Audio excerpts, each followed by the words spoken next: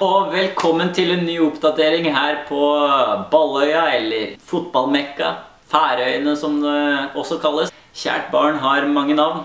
I dag tenkte jeg å ta en tur ned på gymmen for å kjøre litt styrketrening. Så om du er nysgjerrig på å se hvordan styrkeprogrammet ser ut her i sesong, eller om du bare skulle ha lyst på noen tips til å finjustere sommerkroppen rett før sommerferien, eller om du skulle ha lyst på et treningsprogram, Ulrik, så er det også bare å ta kontakt. Jeg tror vi bare tar en tur ned på gymmen, og så ser vi om vi får eh, kjørt ei styrkeøkt med kamera. Ja, her er det selvfølgelig låst.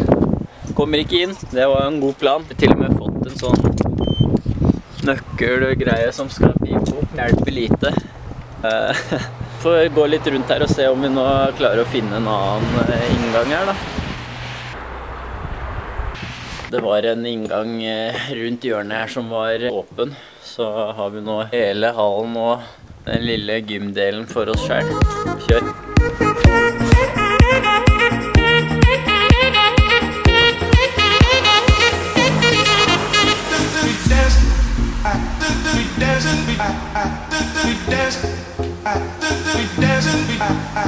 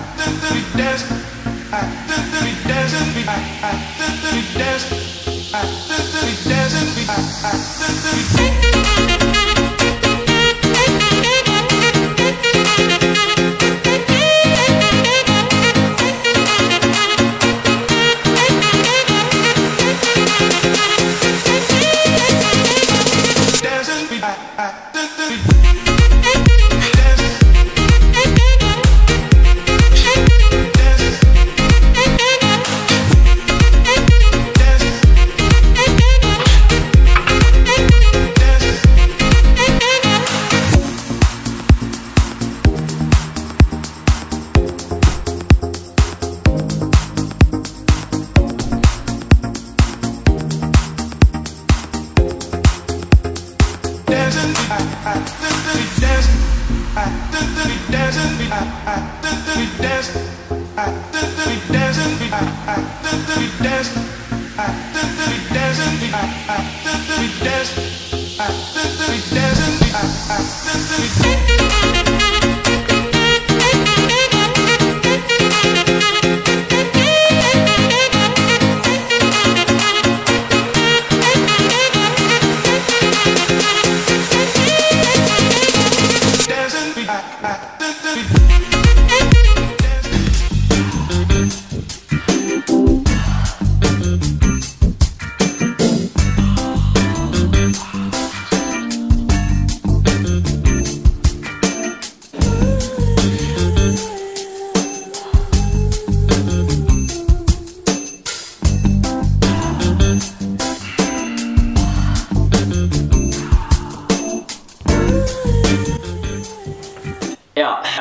satte meg ned for å sette sammen de klippa her, og fant ut at jeg egentlig ikke hadde noen avslutning. Så kanskje det ble litt mye peder her på slutten, og at det hadde holdt med sommersnacksen. Men tenkte bare å si at eh, jeg prøver å kjøre den eh, styrkeøkta her to ganger i uka, og at biceps curl da opprinnelig ikke er en del av den økta. Det var vel egentlig bare for show, og noe jeg tenkte de kvinnelige seerne, og spesielt Ulrik, eh, kunne sette pris på. Men vi kjører da også styrkeøkt på mage og rygg på mandager og torsdager. Så sammen med de øktene og kosthold, så klart, så er det det som i hovedsak eh, danner grunnlaget for å finjustere sommerkroppen.